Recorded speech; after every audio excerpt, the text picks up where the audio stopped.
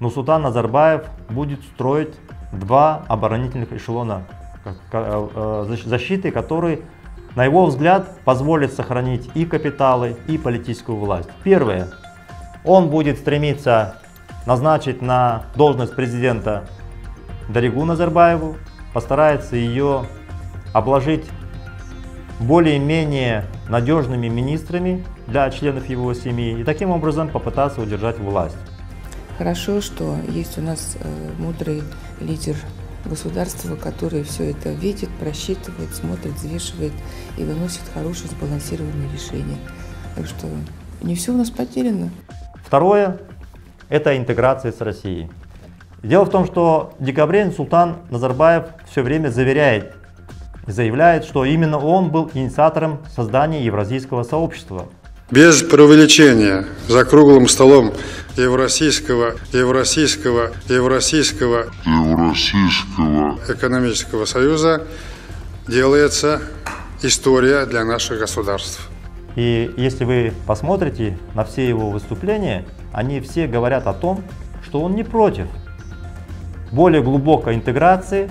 На самом деле, если говорить серьезно, речь идет о поглощении сначала под эгидой союзного государства по образу Белоруссии, то есть сначала Путин хочет добиться выполнения соглашения со стороны Белоруссии, а затем создать союзное государство уже с Казахстаном. То есть фактически это будет союзное государство Белоруссия, Казахстан и Россия.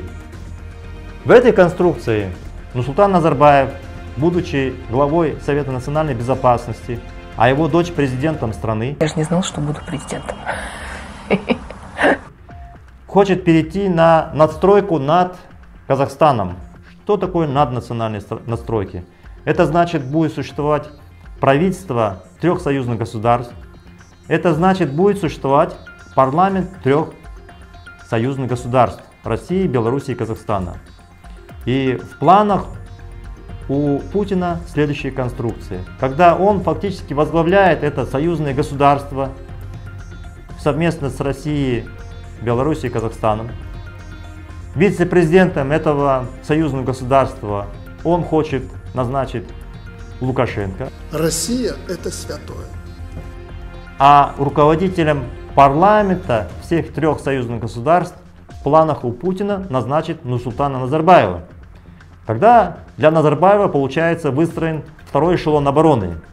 Когда президентом Казахстана становится его дочь. Она здесь. Я сегодня сказал, говорю, сейчас пойдешь после меня. А он находится во главе объединенного парламента союзного государства. Если завтра каким-то образом произойдет смена режима, но Султан Назарбаев, в Казахстане имеется в виду, но Султан Назарбаев полагает, что для него будет надежное убежище в России, где он будет обладать статусом руководителя парламента. Спасибо, что смотрите наш YouTube-канал 1612 и не верите сказкам Хабара. Жмите на колокольчик, чтобы первыми узнавать о новых видео. Подписывайтесь на каналы 1612 в Instagram и Telegram.